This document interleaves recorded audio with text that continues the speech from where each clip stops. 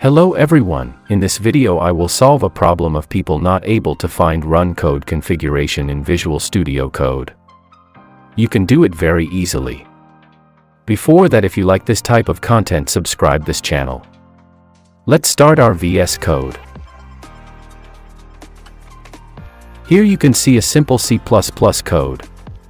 We will run this code after some extension downloading and some settings. First download a extension named Code Runner. Let's download it.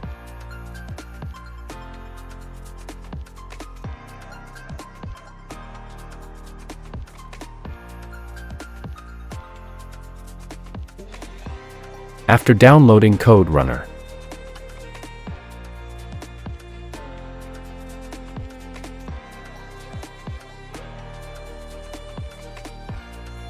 Go to settings then go to search box and search run code and now here you will find run code configuration.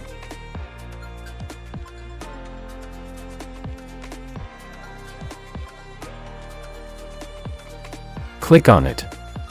And here you will find Code Runner, Run Code in Terminal. Tick the checkbox.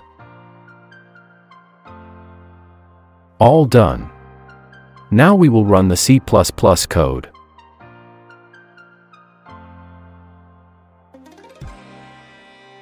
Click on Run Code button.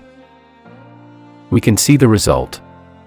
If this video is useful for you like it and subscribe this channel.